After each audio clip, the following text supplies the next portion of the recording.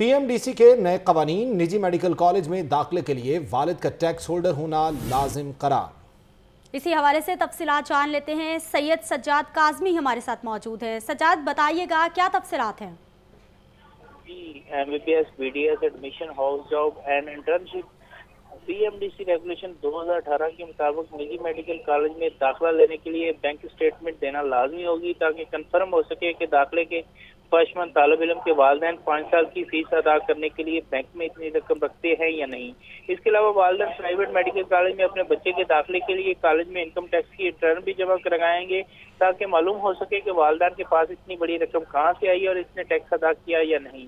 اسی طرح کچھ بچے ایک سال تعلیم حاصل کرنے کے بعد نجی میڈیکل کالج چھوڑ دیتے ہیں یا بچے کے والد کی موت واقع ہونے کے بعد فیس معافی کی اپیل آ جاتی ہے، جس پر والد کی لائف انشورنس کو لازمی قرار دے دیا گیا ہے۔ اسی طرح غلط بیانی کرنے والے طالب علم کو سات سال کے لیے نہل کرنے کے کرنے کے لیے بھی قانون سازی کی گئی ہے۔ جو بچہ اپنے کاغذات یا فارم کے اندر کسی قسم کی غلط بیانی کرے گا، وہ سات سال کے لیے نہل ہوگا۔ جی۔